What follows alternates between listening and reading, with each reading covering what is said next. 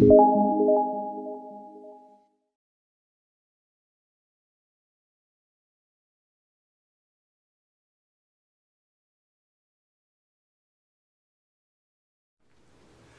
morning, this is day five.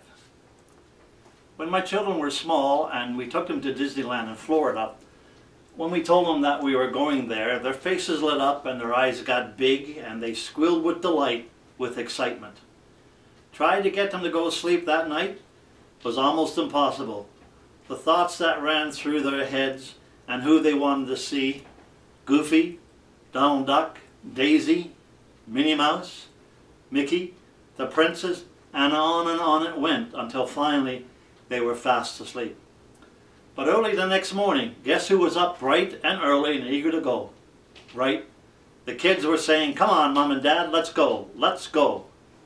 As soon as we got into the car, backed out of the driveway, and down to the corner of the street, what did I hear from the kids that were sitting in the back seat?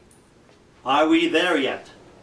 Several times during the drive, we heard it over and over and over and again.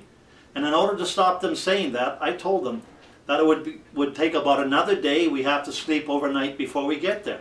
We'll have to stop and have something to eat. But in the meantime, try to see how many license plates you can see from another province or another state in the U.S. as we travel along. I'm sure, as parents, you can relate that happening in your life with your kids when you told them we are going to a certain place or to see grandma or grandpa. In, in Ecclesiastes 3, verses 1 to 8, we find God has predetermined the end, events of our life.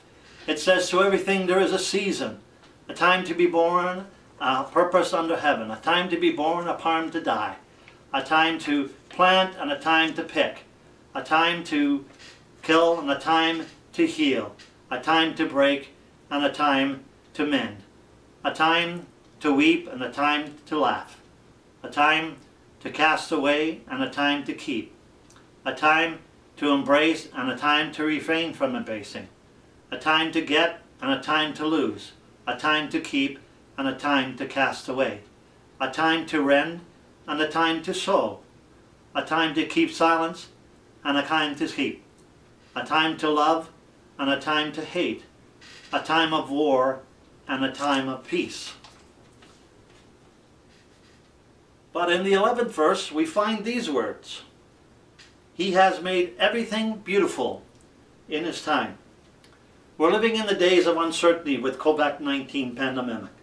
The world has changed, we have changed, our living has changed, and who knows when it will get back to what it was before, or maybe never as we knew it.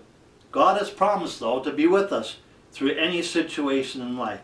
He has given us a manual to which we're able to look and find peace and assurances of His love for you and for me. And I just want to remind you that that manual is God's Word.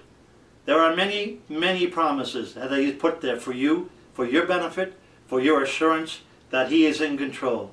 He is, has so many blessings in store for you and for me.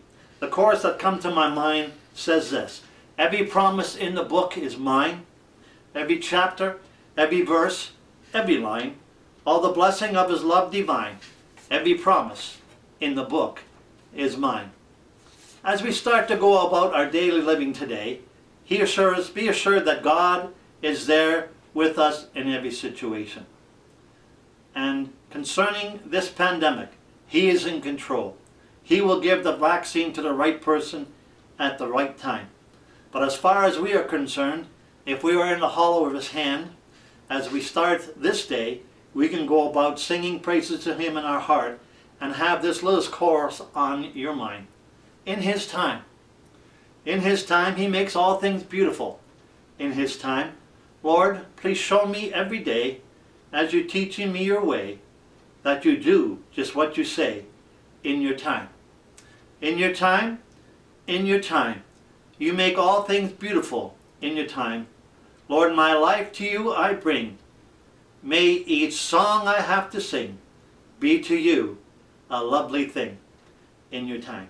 Remember, God loves you, cares all about you and your needs. just reach out to Him and say, Father, in Thee, in You, do I put my trust for this day. Let's pray.